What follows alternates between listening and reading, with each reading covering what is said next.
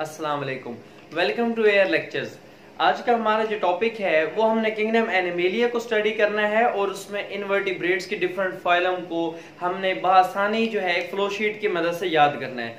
Basically ये एक ऐसा टॉपिक है बेटा, जिसमें तमाम स्टूडेंट्स को ऑल ओवर द वर्ल्ड जो है डिफिकल्टी आ रही है, बहुत प्रॉब्लम आ रही है याद करने में। तो मैंने ये छोटी सी कोशिश की है कि इस फ्लो शीट की मदद से इसको आसानी से बच्चों को जो है, याद करने की ट्रिक्स बता दी जाए।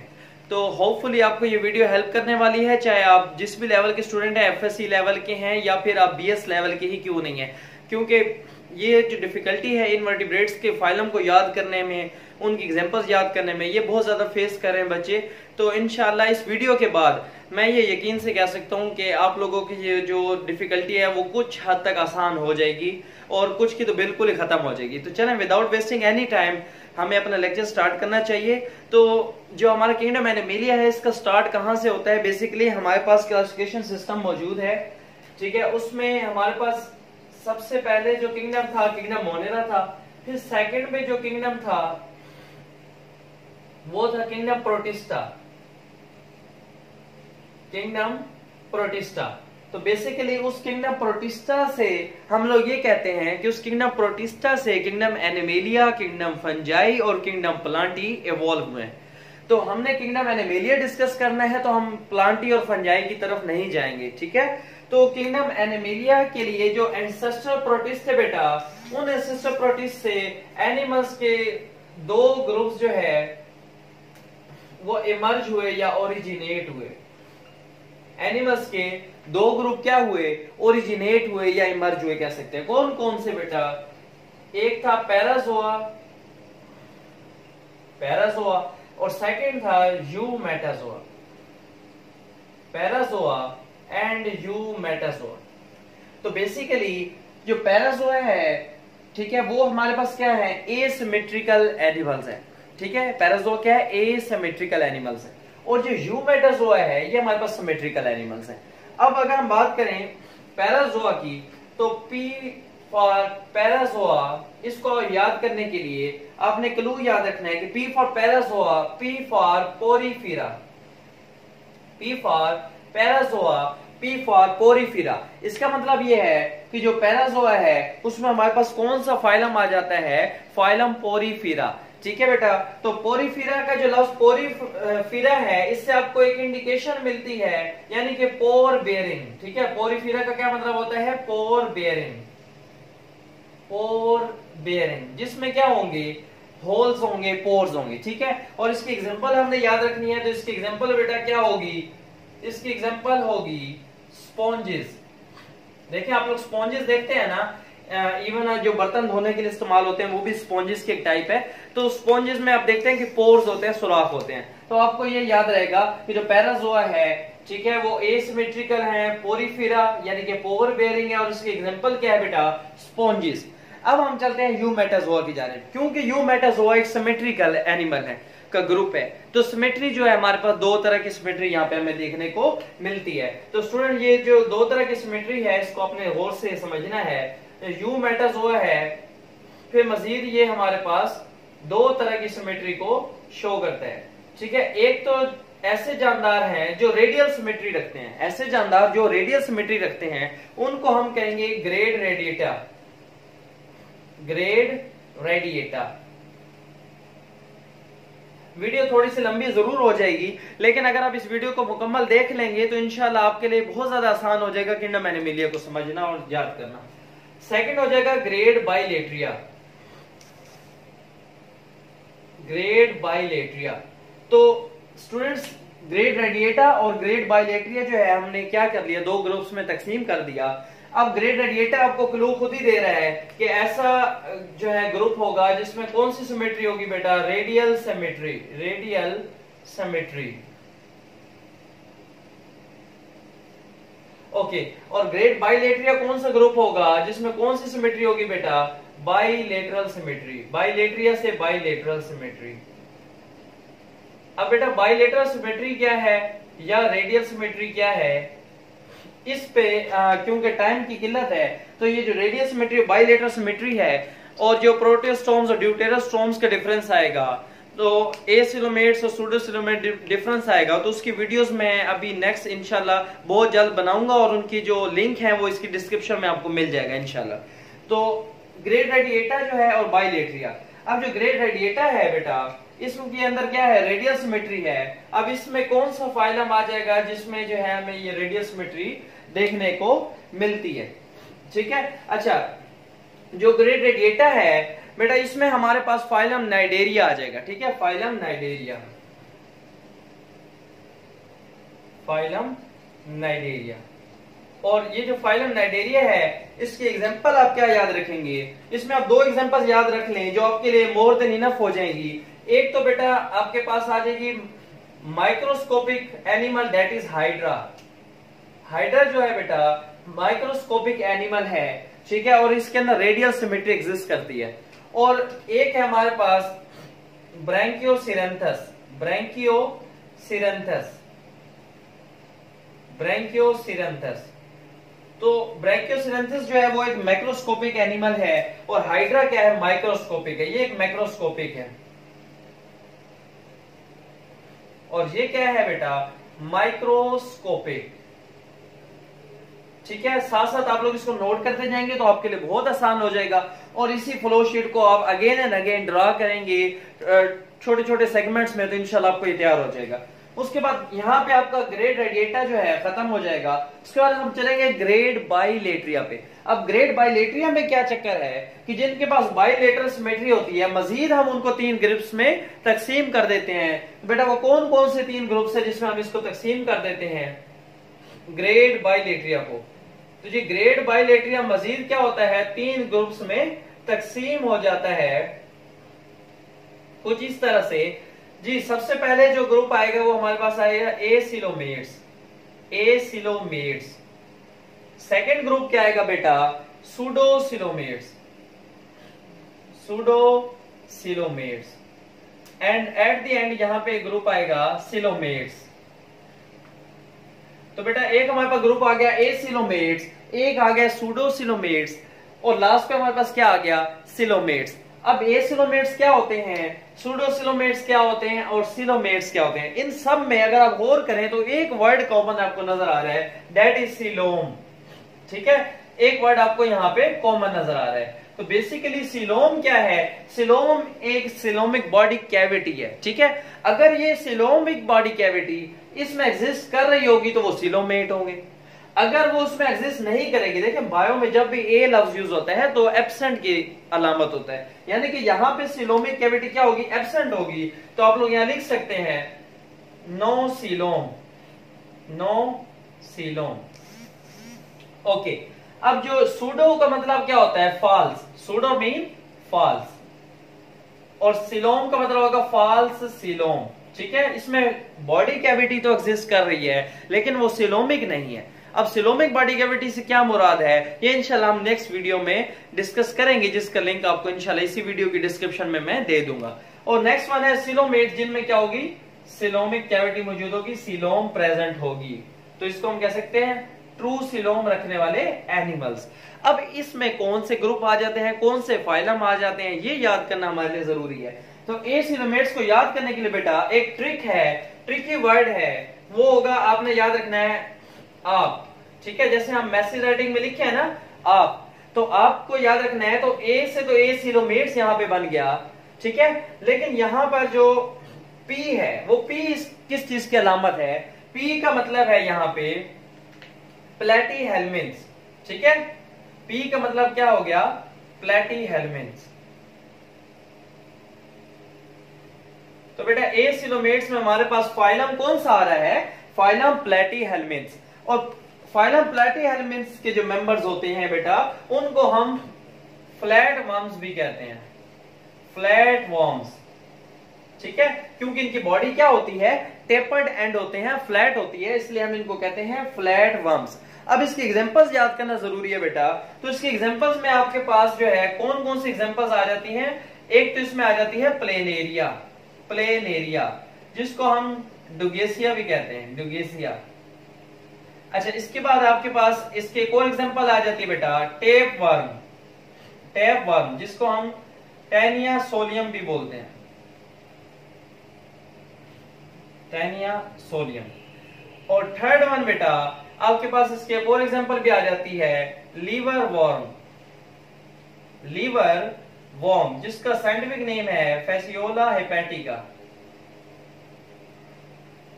देखिए, लीवर से हेपेटिक हेपेटिक लफ्ज जहाँ भी आता है बेटा, वो किसके अलामत होता है? लीवर की। ठीक है तो आपको याद रहेगा कि फैशियोला हेपेटिका जो है वो लीवर वर्म की एग्जांपल है। अच्छा बेटा, अब यहाँ पे आपका ए सिलोमेट्स का जो पोर्शन है, वो आपका यहाँ पे कवर हो जाता है। अब आप लोगों ने जाना है सुडोसिलोमेट्स की जाने तो सुडोसिलोमेट्स जो है बेसिकली इसको याद कैसे रखेंगे? इसको याद रखने के लिए भी एक टेक्निक है, परेशान नहीं होना। ये ट्रिकी वर्ड आप याद करेंगे pan the tricky word will be pan okay fry pan type जैसे। ठीक है? तो पैन का क्या मतलब होगा? पी ये जो पी है, ये सूडोसिलोमेट्स को जो है, ज़ाहिर कर रहा है। ठीक है? तो ए से क्या मुराद है और एन से क्या मुराद है? तो बेटा, यहाँ पे जो ए है, उससे मुराद है एस कैलमिन्स एस कैलमिन्स तो बेटा, इसमें कौन सा फाइलम आ जाता है? फाइलम एस कैलमिन किसमें आ जाता है बेटा? सुडोसिलोमेट्स में। फाइलम एस कैलमिन्स मैं यहाँ पी लिख देता हूँ फाइलम का जस्ट क्योंकि मेरे पास जगह कम है पूरा फाइलम लिखने के लिए। तो फाइलम प्लाटियनमिथ और यहाँ पे सूडोसिलोमेट्स में फाइलम एस्केलमिथ अब बेटा एक और इंफॉर्मेशन कि इस फाइलम एस्केलमिथ को हम इस लेवल पे नीमाटोड्स भी बोलते हैं। ठीक है? तो ये फाइलम नीमाटोडा भी हो गया। अब फाइलम एस्केलमिथ यानी कि जो नीमाटोड्स हैं, यहाँ तक ये N for nematode A for aschelminth and P for pseudocoelomate कितना आसान हो गया याद करना। अब इसकी एग्जांपल्स आपने याद करनी है कि हमारे पास जो फाइलम है नीमाटोड इसमें कौन से एनिमल्स आ जाते हैं? अच्छा इसको हम जो नीमाटोड्स होते हैं, इनको हम राउंड वर्म्स भी कहते हैं, ठीक है? राउंड वर्म्स राउंड वर्म्स तो इसमें वर्म्स की एग्जांपल आएगी और वर्म्स आप कौन कौन सी एग्जांपल याद रखेंगे बेटा? आप दो एग्जांपल याद रख लें इसमें। पिन वर्म और एक और आप याद रख सकते हैं हुक वर्म ये बेसिकली ह्यूमन इंटेस्टाइनल पैरासाइट है। ठीक है तो आप इसको याद रख सकते हैं इस तरीके से। ठीक है, ये आपके लिए इजी हो गया। उसके बाद हम लास्ट वन चलते हैं सिलोमेट्स की जाने में। अब जो सिलोमेट्स है बेटा, वहाँ पे आके एक और तकसीम हो जाती है। यानी कि हम सिलोमेट्स को डिवाइड कर देते हैं दो ग्रुप्स में। प्रोटोस्टोम्स और ड्यूटेरोस्टोम्स में, ठीक है? तो सिलोमेट्स को हम डिवाइड कर देते हैं बेटा। कितने ग्रुप में? दो ग्रुप में हम डिवाइड कर देते हैं। एक को हम कहते हैं प्रोटोस्टोम्स और दूसरे को बेटा हम कहते हैं ड्यूटेरोस्टोम्स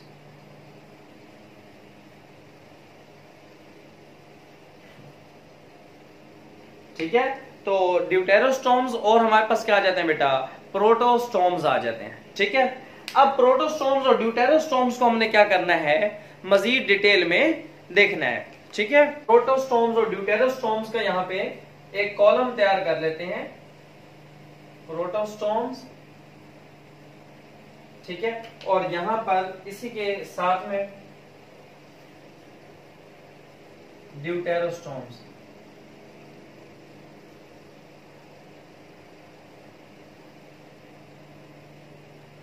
ओके बेटा। अब प्रोटोस्टोम्स को या प्रोटीनोस्टोम्स को आप कैसे याद रख सकते हैं? इसकी एग्जांपल याद रखने के लिए आप लोगों को क्या करना है? एक वर्ड याद रखना है माँ ठीक है? जैसे हम अपने मम्मी को बोलते हैं ना माँ तो अब यहाँ पे आपको तीन अल्फाबेट्स को याद रखना है माँ अब ये कैसे, इस तीन अल्फाबेट्स का क्या मतलब है? जरा गौर से समझिएगा। इन तीन अल्फ़ाबेट से मुराद तीन फाइलम के ग्रुप है बेटा।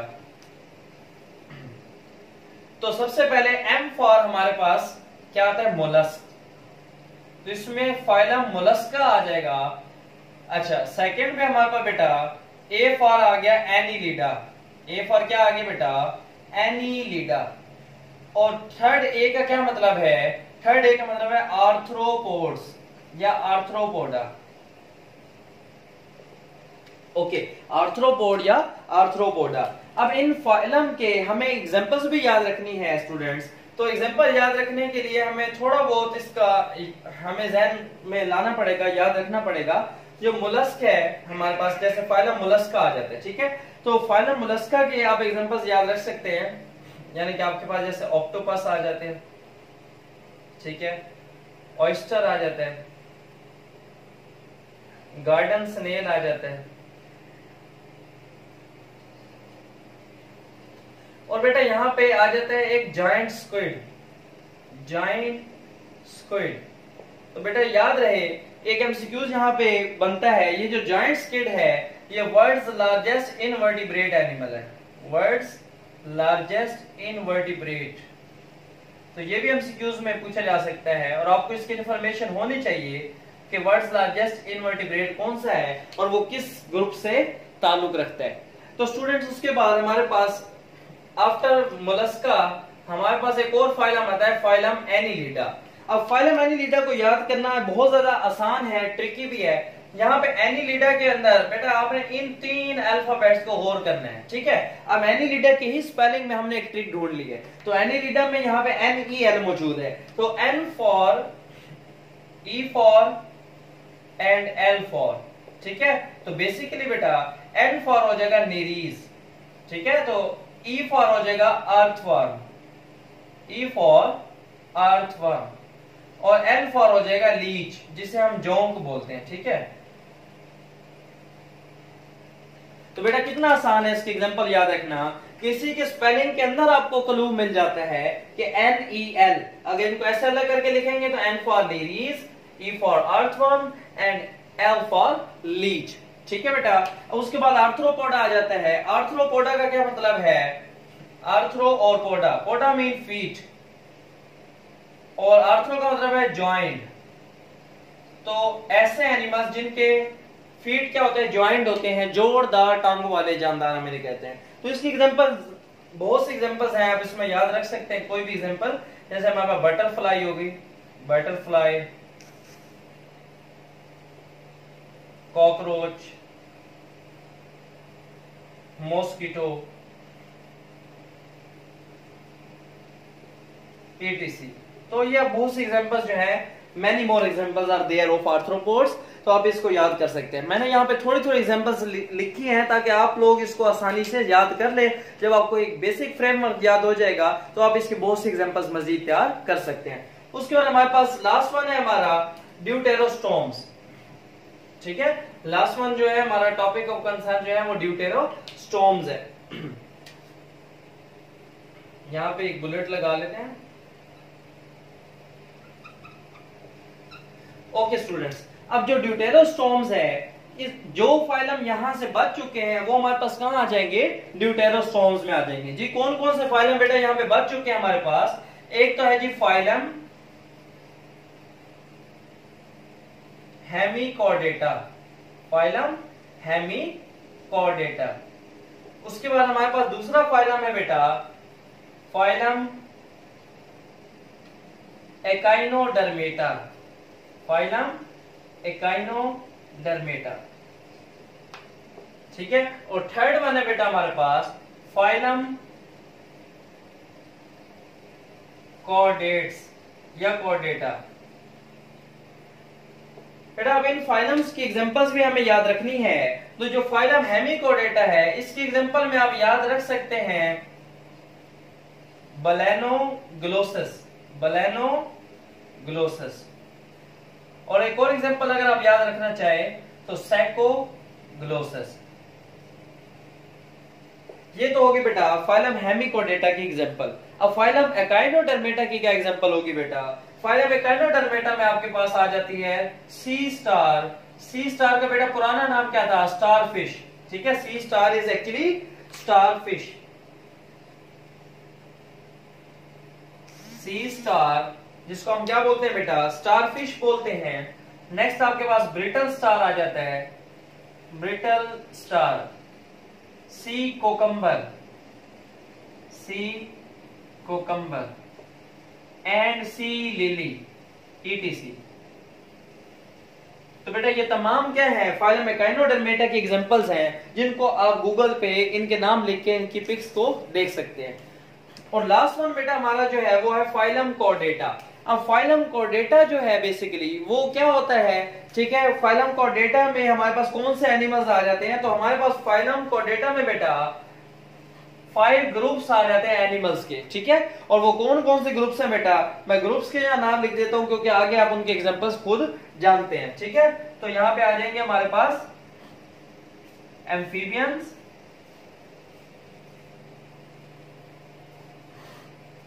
fishes reptiles, birds and mammals तो बेटा इनमें आपके जो जितने भी ग्रुप हैं एम्फीबियंस हो गए, जिसको आप जानते हैं फ्रॉग वगैरह है फिशेस हैं डिफरेंट आप फिशेस को भी जानते हैं।